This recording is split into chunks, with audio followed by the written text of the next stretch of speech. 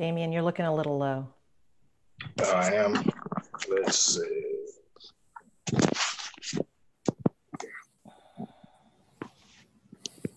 Is that better? Good morning, and welcome to another episode in our museum's Stay Connected Facebook Live series. I'm your host, historian Edna Friedberg.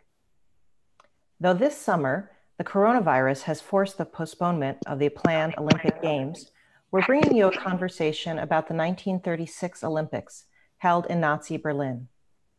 There are so many compelling stories from this moment in history, ranging from the personal experience of athletes to the German government's campaign to camouflage its discriminatory policies. Please join me in welcoming today's guests. First, Dr. Damion Thomas, who is the sports curator at the National Museum of African American History and Culture. Hi, Damion. Good morning. Good morning. Thank you for having me. I'm excited to uh, participate in this conversation. Glad to have you on, and maybe sometime we'll actually meet in person instead of just uh, through a box on the screen. Uh, our other guest is uh, my former colleague, Dr. Daniel Greene. Uh, Danny is president of the Newberry Library in Chicago and he also served as curator of the Holocaust Museum's current special exhibition, Americans and the Holocaust. Danny also conducted research for an earlier exhibition about the 1936 Olympics here at our museum in DC, and so we're glad to bring him back to share some of that knowledge. Hi, Danny. Hi, Edna. Thanks. How are things in Chicago? Things are all right. as much as Hanging anywhere. Uh, we ask you, our viewers, to please post your questions for our experts in the comment section, and we'll get to as many of them live in the course of the show as we are able. Also, if you experience any technical glitches during the course of the show, um, don't worry about it. Don't stress. It will be available to view on demand immediately after we conclude. So, how did Germany come to host the Olympics in 1936? It actually predates the Nazi era. Uh, in 1931, Germany was awarded the right to host the 1936 Olympic Games, uh, which was a very powerful signal. It signaled its return to good standing in the international community following uh, the First World War. In 1933, Nazi Party leader Adolf Hitler was appointed chancellor, and his government quickly transformed Germany's fragile democracy into a dictatorship that persecuted Jews and thousands of others based on a racist ideology in which so called Aryans were superior. Leaders and average people here in the United States were becoming increasingly alarmed at Germany's turn toward a violent police state, and this made them wary of competing in the Berlin Games. So, against this backdrop, I'd like to start with you, Damion. Can you tell us a little bit about the debate over whether the United States should participate in the Berlin Games?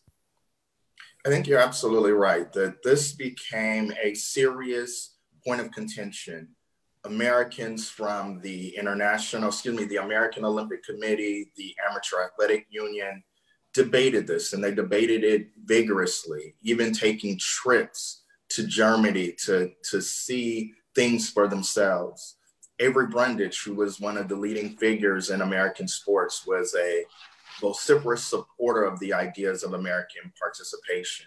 And in a very close vote, the American delegation decided to, to uh, continue to uh, support the Olympics and, and to participate. And it wasn't just sports organizations who were um, weighing in on this debate. I know um, Jewish organizations, the NAACP, the uh, National Association for the Advancement of Colored People, um, many people and many groups saw the symbolism there, right? Definitely. I think uh, I think it was it was widely debated and discussed, and the NAACP um, certainly had strong feelings about about this issue. Um, as I understand it, they initially supported a boycott of uh, participating, but once it was decided um, that they would send a delegation, they were supportive of the athletes. Is that right? That's true. So, Danny, let's put a little more of a, a, personal face on this because this isn't just about abstract boards or uh, organizations making a stand, but it's about uh, athletes, young athletes, many of whom have trained their entire lives for this this moment. Could you share a couple of these stories, please? Sure, absolutely, and you know many of them were in college at the time. They were they were college students, and many college presidents had actually come out and uh, supported a, a, boycott of the games as well in 1935.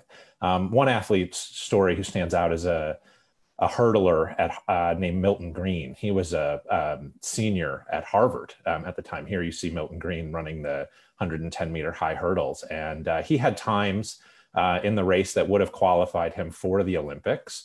Um, and along with a, a, Harvard teammate, another Jewish athlete named Norman Cahners, um, Green and Con- here you see Green and Connors, they meet um, with Green's family rabbi, um, a, a, man named Harry Levi uh, in, at, at Temple Israel in Boston.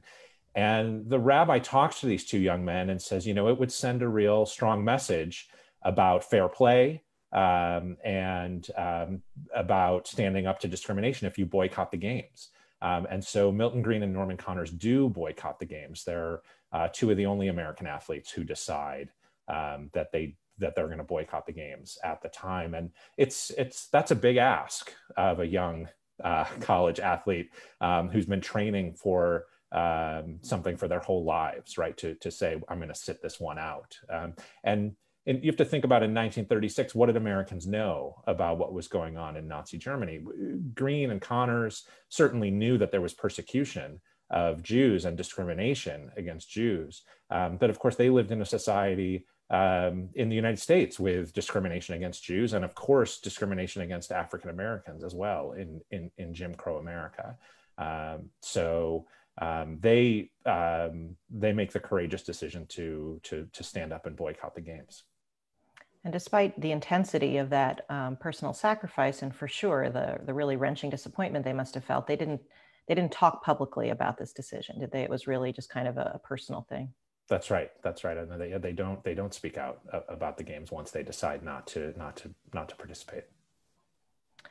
I want to wish a good morning or a good afternoon, depending on where you are, to visitors, to uh, sorry, viewers who are watching. I use museum speak all the time, visitors.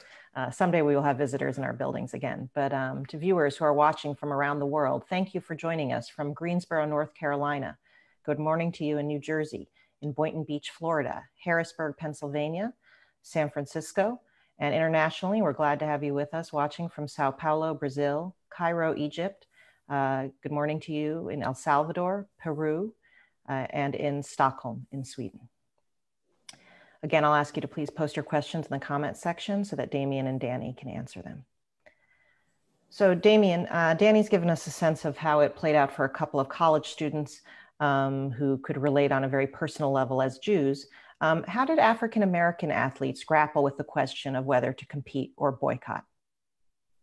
Was a difficult question because for African Americans, the Olympics and sports had been a primary vehicle through which African Americans had sought to fight against racial discrimination um, by, by embodying the ideals of the amateur athlete. They saw themselves as challenging notions of race and racial oppression.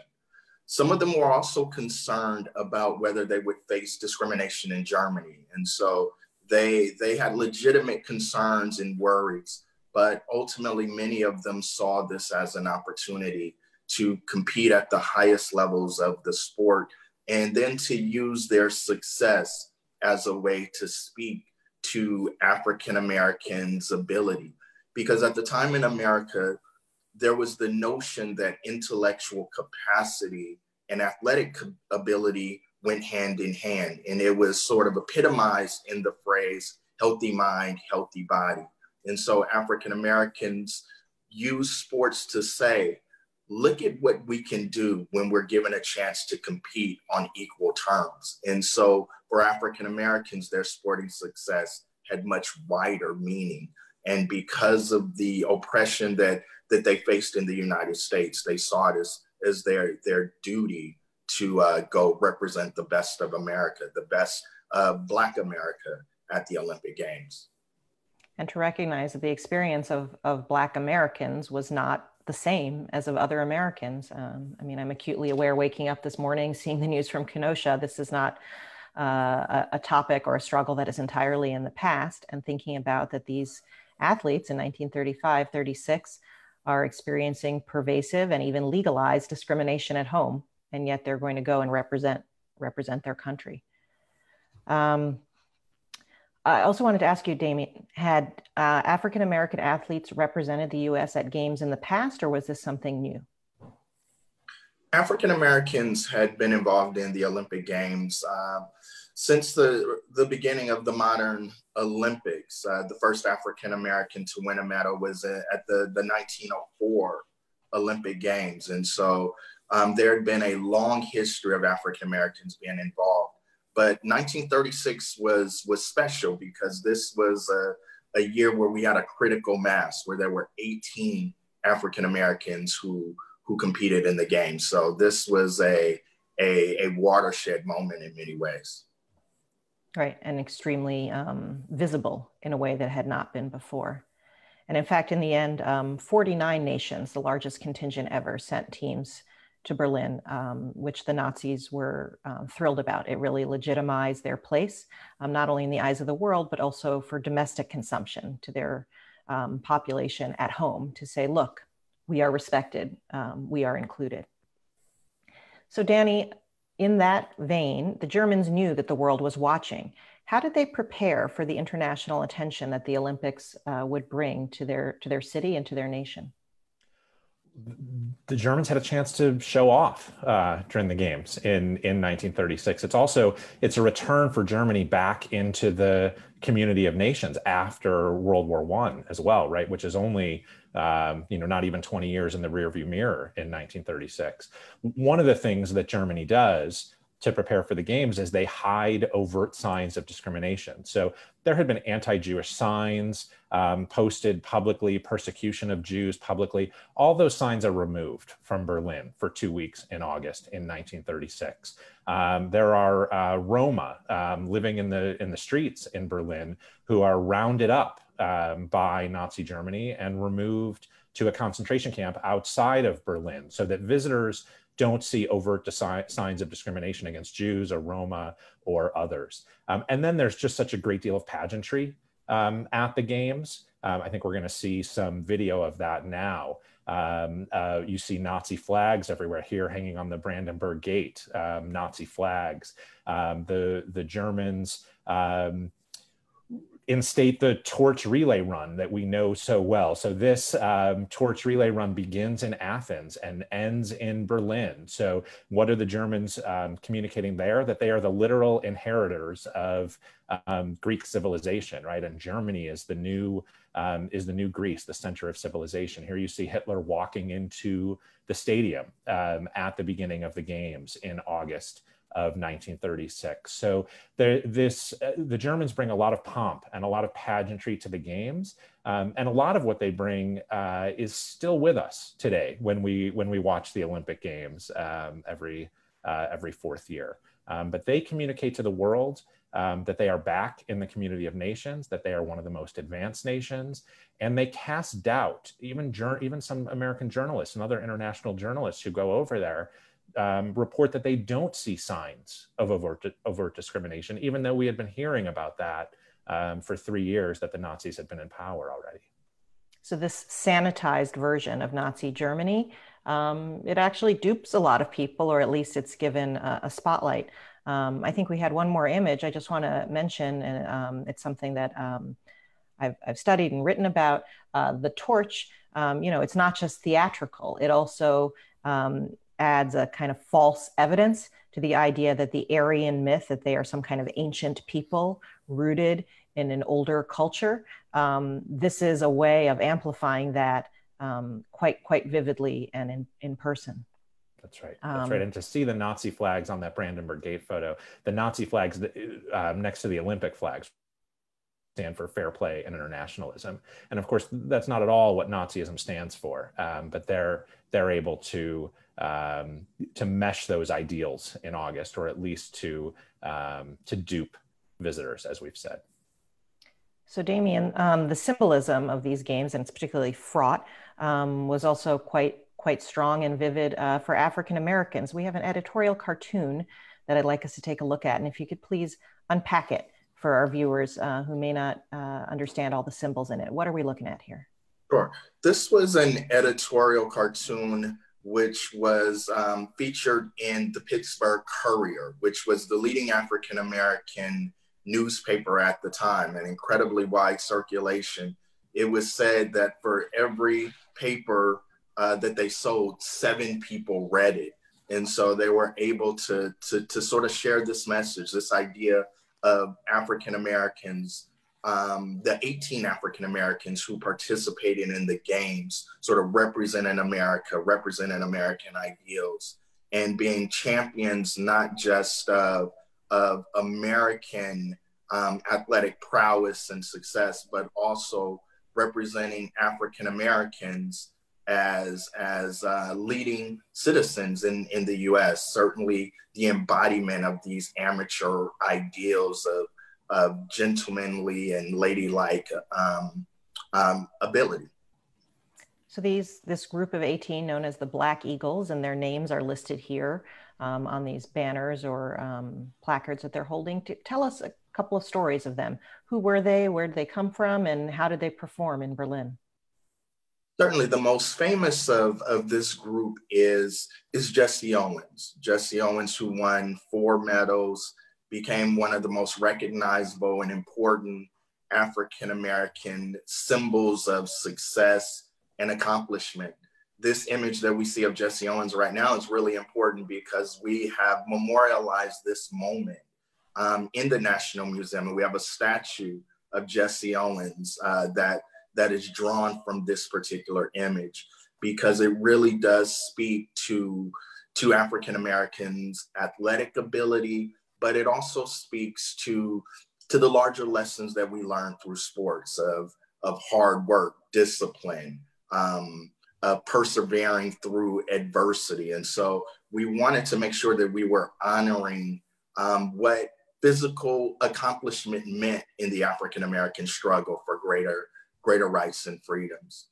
And certainly there is John Woodruff, who um, is from the University of, of Pittsburgh and a middle distance runner who essentially came out of nowhere to win to win gold in the 800 meter race. He would also go on to be a Tuskegee Airman, which means he was a, a fighter pilot for the US military during World War II. And, and that's really important because at the time, being a fighter pilot was one of the most prestigious jobs that you could have and as African Americans tried to tie their their war service to to the fight against racism in the United States, people like John Woodruff, who on the Olympic field also was a symbol of Black Black American achievement, also was a, a symbol during the war, given his his ability to to occupy um, this very prestigious and and demanding job as a as a Tuskegee Airman. And lest people look back and think that um, they were just part of the general fight, I want to remind our viewers also that the United States military was still segregated at the time. So part of why you have a unit, in fact, the reason that you have a unit like the Tuskegee Airmen, is because um, African American pilots were not allowed to integrate into other other units. Um, so how did athletes, um, a track runner like Owens or a middle distance runner like Woodruff, how did they perform um, once they reached the arena in Berlin?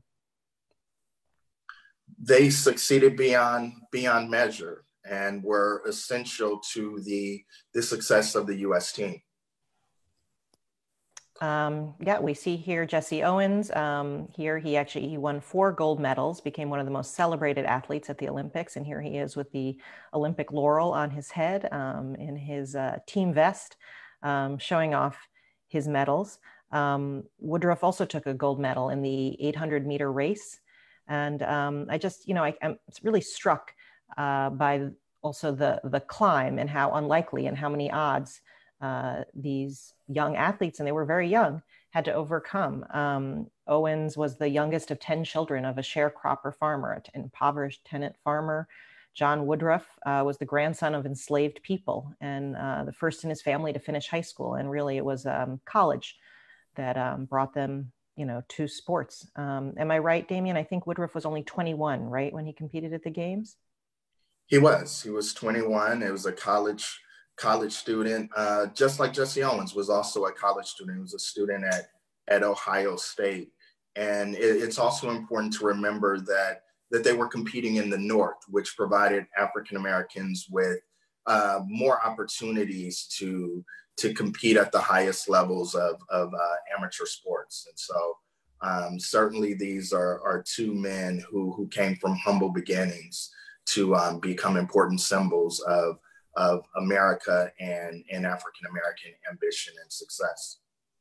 And, they're, and they're, you mentioned, go ahead, Danny. I mean, they're stars at their own schools, but they also they face segregation at those schools also, right? And so, I mean, these these young men and and and women who compete also just um, reflect, I think, in powerful ways about what it meant to go over to Germany wearing a uniform that said USA when they don't have um, anywhere near full equality um, in, in, the USA at the time. Um, they they were very aware of that contrast, right? And the um, there's a hope for promise of equality, um, but but the athletes were, I, I, think I think many of the athletes, right, Damion, really um, were aware of that of that contrast between the promise and the and the reality.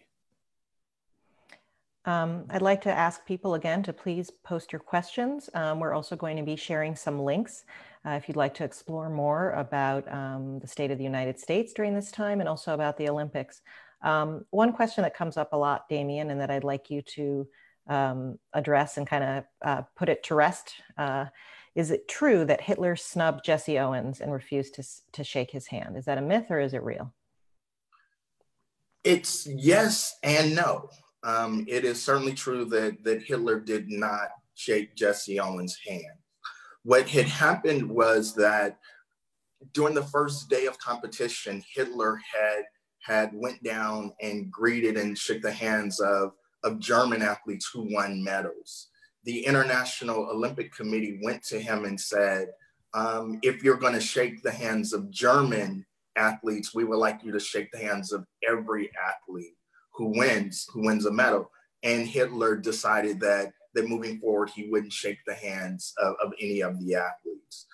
And Jesse Owens took advantage of this moment. Um, when he came back to the US, he didn't have a lot of opportunities to capitalize on his athletic success.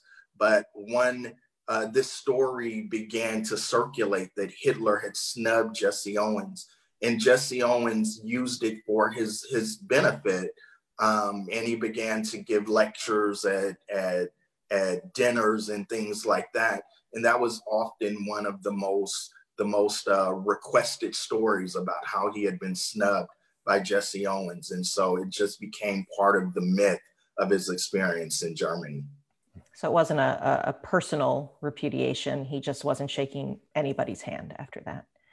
Um, let's hear actually directly in his own voice and words from John Woodruff, as I mentioned earlier, gold medalist in the 800 meter, um, about what it meant to him to win in that particular Olympic Games.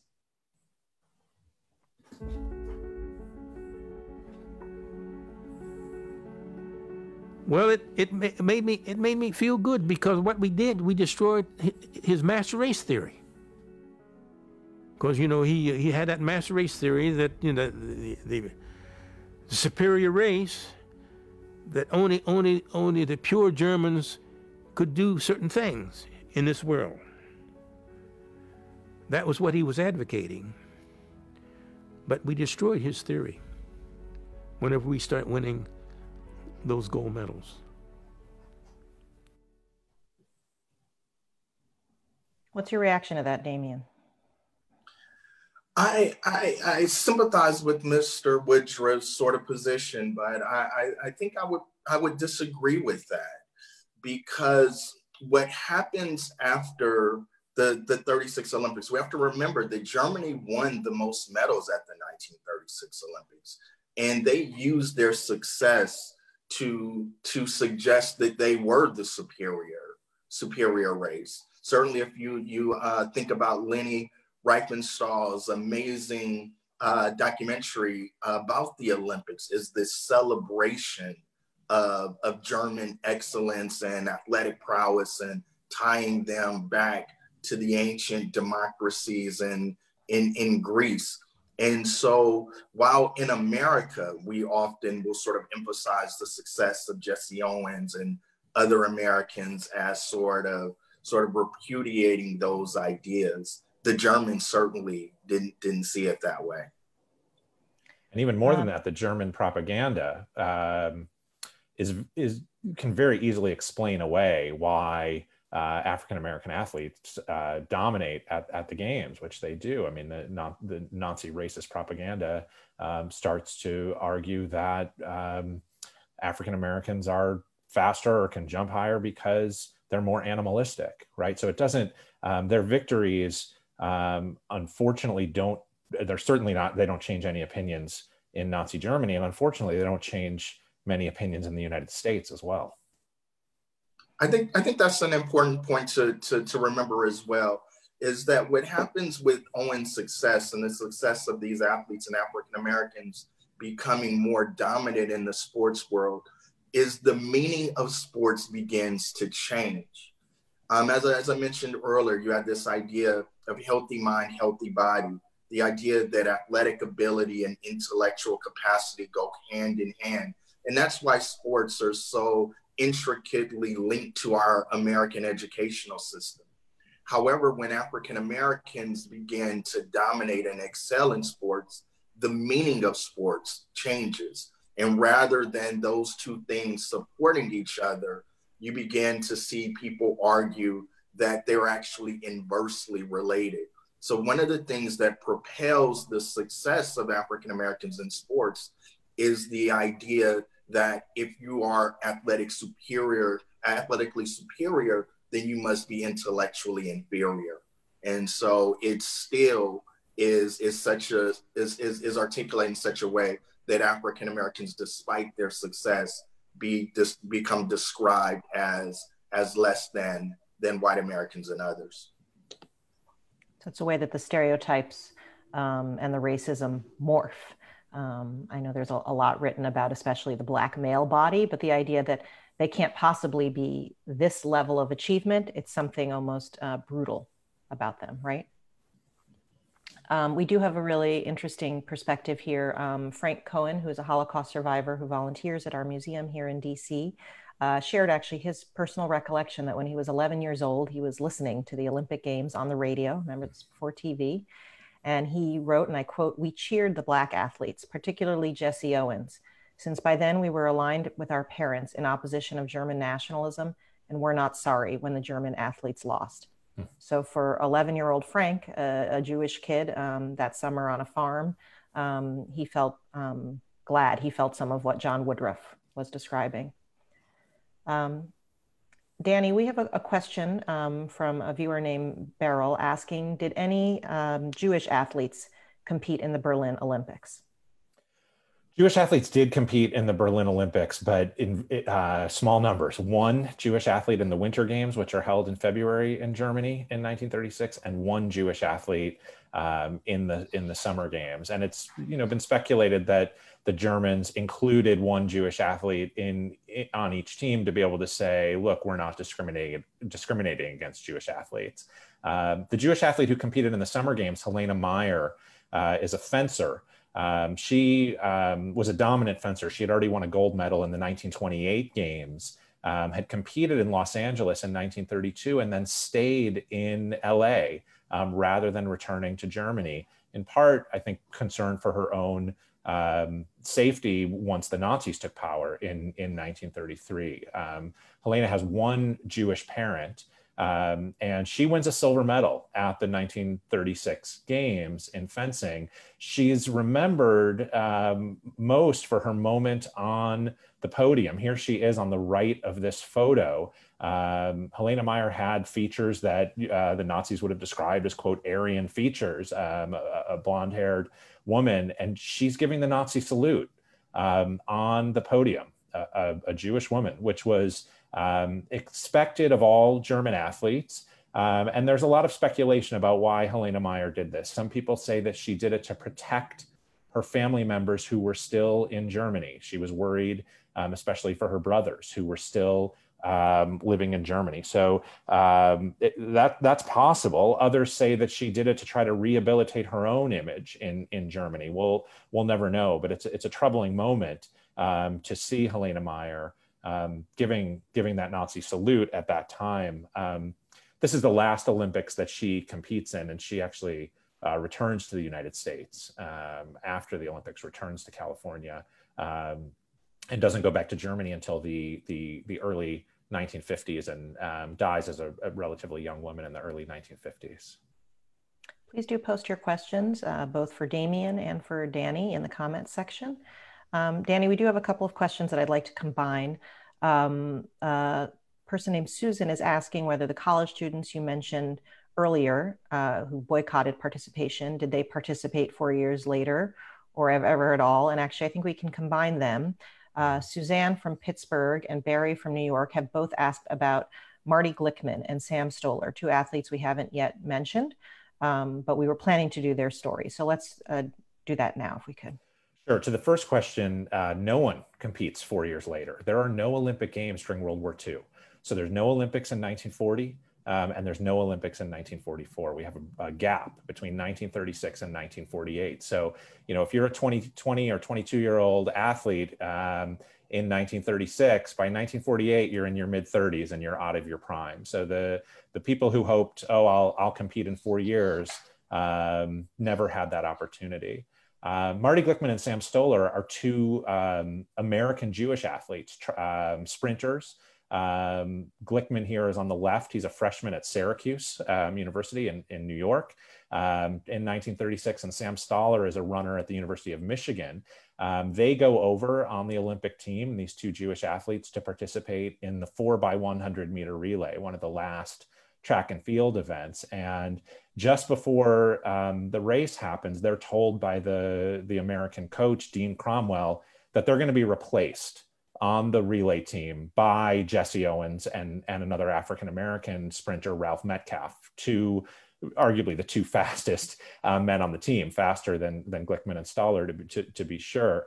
Um, Marty Glickman, I had the chance to to meet and talk with Marty Glickman a few times before he he passed away. He he attributed this to anti-Semitism and to not wanting the American Olympic Committee not wanting to show up Hitler anymore than they already had by having Jewish athletes win um, win medals at the games. And with Glickman and Stoller's times, um, they probably would have run uh, won running with running uh, with that team with with Owens and, and Metcalfe. Um, it's a dominant race, and the Americans win the gold medal. Um, we don't know. We, we we won't know for sure why Glickman and and, and Stoller were um, replaced. Glickman was quite outspoken about it throughout much of his life. Sam Stoller said very little um, about this after the games, um, although the little bit that he did say about it, he didn't, he, he wasn't as sure that it was anti-Semitism among the American Olympic Committee that that led to the to, to the removal or the replacement of these two runners at the at the last minute. Um, it ultimately allows Jesse Owens to win his fourth gold medal at the game. He went over to run three races and ends up running four and or, or competing in four events. Sorry, um, and and winning winning four gold medals. Damion, we have a not dissimilar story um, in the case of the the lone two African American women athletes who are at Berlin. Could you tell us uh, about these two women, please? Sure. Tidye Pickett and Louise Stokes were members of the the uh, 1932 team um, and should have had an opportunity to compete in Los Angeles, but they they didn't get a chance to compete despite excelling in their events. Um, in 1936, those two women were were put on the Olympic team again. Tidye Pickett, um, who who was a hurdler, was actually became the first African American woman to compete in the Olympic Games when she competed in the the 80 meter hurdles. Um, unfortunately, she hit one of the hurdles in one of the earlier races, broke her foot, and wasn't able to, to, to make it to the finals. Louise Stokes was on the team, but um, didn't get a chance to, to compete in her, her, uh, her running race. This was also important because they were in many ways um, caught up in, in both the racial dynamics, but also the gender dynamics of the 1936 Olympic Games. And so these two women became uh, the first of many African American women who would go on to dominate women's track and track and field by the early 1950s. And so their sacrifices and dedication helped pave the way for, for a later generation. We have a couple of viewer questions for you, Damion. Um, a viewer named Darcy, first of all, sending greetings from Chicago, place that all of us have connections to. So thank you, Darcy. Um, Darcy's asking, can you share some of the discrimination and challenges that America's Black athletes faced after they returned home from Berlin? Were they received as heroes? Sure. If you think about the story of Jesse Owens, um, at the time, the greatest track and field performance in history, um, immediately after the games, the American Olympic Committee went on a tour of Europe and they had the athletes competing after two or three days. So it was a it was a grinding performance, and and they were trying to raise money for uh, to to offset the expenses of of the uh, participate in the Olympics. Jesse Owens, Jesse Owens, who was worn out, who was tired, um, decided to go home, and he was actually barred from from competing in in track and field. That, that's sort of an amazing story to think about. But he spent much of the 1940s um, performing in, in what you would call spectacles. He he would would race horses as a way to to raise money. He traveled with the Harlem Globetrotters, and during the halftime performance, he would he would run over hurdles as a as a form of entertainment. And he really struggled to to find an economic footing and to benefit from his athletic prowess in ways that a lot of his his other white white colleagues and um, didn't didn't struggle. And so many of them came back to a segregated America um, and and had to to um, fight for for for equality. And as I said before, we certainly see that with the case with John Woodruff, who also joined the military, which was which was quite common for athletes as well. I'm reminded of a, a really disturbing um, episode that happened to John Woodruff after he returned. You know, he was a college when he returned to college, he was actually prevented from competing at a track meet at the Naval Academy in Annapolis because of, of racism. And, and he reflected, and I quote, Now here I am, an Olympic champion, and they told the coach that I couldn't run. I couldn't come, so I had to stay home because of discrimination. Things hadn't changed. Um, some some athletes, I have to just because of the Chicago shout out. I, we, we should say we haven't talked much about Ralph Metcalfe, who is a, a runner at Marquette, um, who wins multiple medals at the at the games, and you know he continues um, to to persevere in the struggle against racism and becomes a congressman from Chicago. Thank you. Yeah, absolutely, a truly complex and fascinating figure, and we can post some links about that um, in the comments. We have just a few minutes left, uh, so I'd like to ask one more question of each of you. Uh, Damion, a viewer named Nils, is asking whether you see a connection between this post 1936 change in the meaning of sports that you described and the high representation of African Americans in contemporary sports. What are your thoughts on that? I, I, in some ways, I, would like to challenge that. I don't, I don't think African Americans are highly represented in sports. African Americans are not the majority of athletes competing in professional sports in America. Certainly, they constitute a majority of those in football and basketball. But if we think about the broad spectrum of, of the sports arena, African Americans still represent a, a significant minority.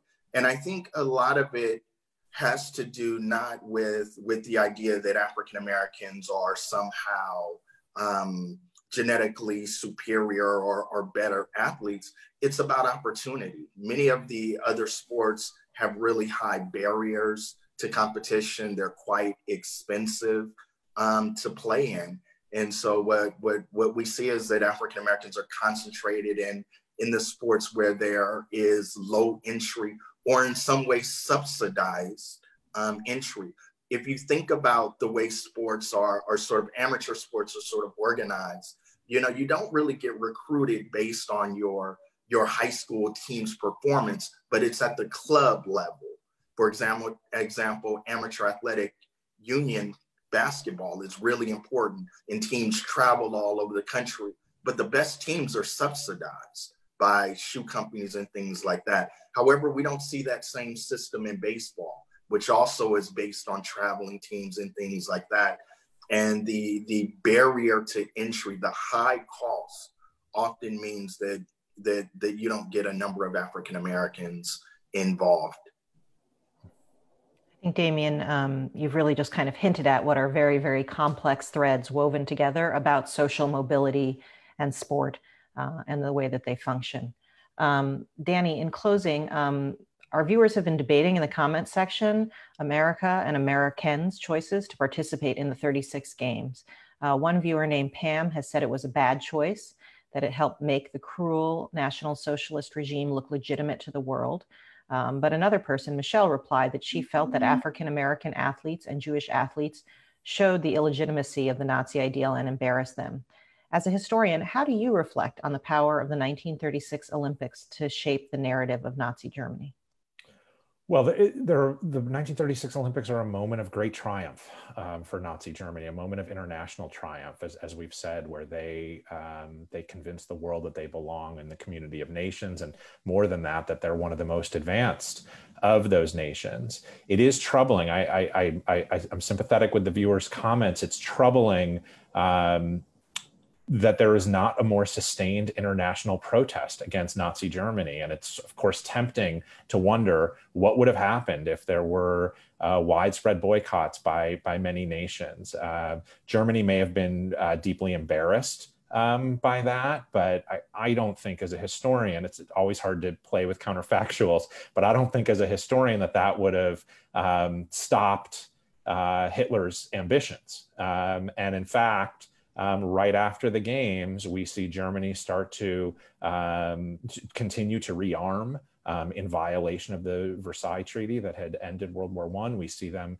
um, start to make plans to um, encroach on on territory, um, and that will continue. Um, tragically, um, with the the beginning of of World War II, just three years after the Olympics, that leads to the Holocaust and the, the death of, of millions of Jews and, and millions of others throughout Europe.